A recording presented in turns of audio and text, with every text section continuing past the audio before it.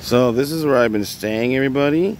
We just got kicked out by um, management for making YouTube videos. So we can't make YouTube videos here, or you're gonna get kicked out by by management.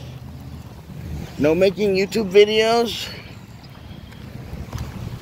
No making YouTube videos here, or you get kicked out by management. Okay. They're gonna kick you out real fast by making YouTube videos. Okay. They'll make YouTube videos here. They find out you got a YouTube channel.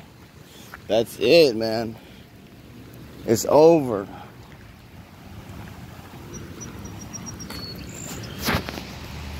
They're gonna they're gonna show you they're gonna try to show your channel down. They're gonna kick your ass out. Management here, man. POS. And look, it's raining everything. We out here. What's up?